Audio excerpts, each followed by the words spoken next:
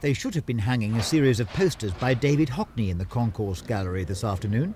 The arrangement for that broke down, though, and that's how the ten, all of whom are professionally trained artists, were given their big chance of filling in and showing off their skills instead.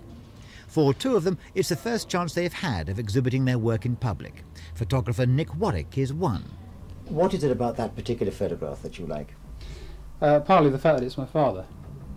Um, and oh, it does actually happen to reveal, uh, reveal him quite accurately. Um, but also because it's fairly stark, uh, which is something I seem to naturally go for without actually quite knowing why in photographs. It, it pares things down to the bare essentials. How did you set about choosing the 30 or so pictures that you'll be able to exhibit?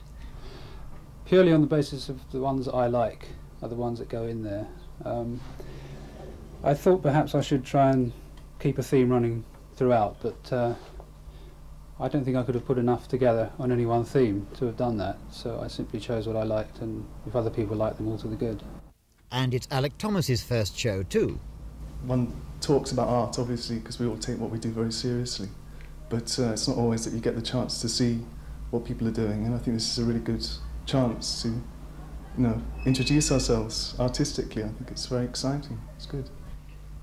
well, I'm interested in sort of atmospheres and um, qualities that aren't directly to do with drawing. I use a lot of chance in what I do. I merely have sort of fascinations that tend to come out in what I do.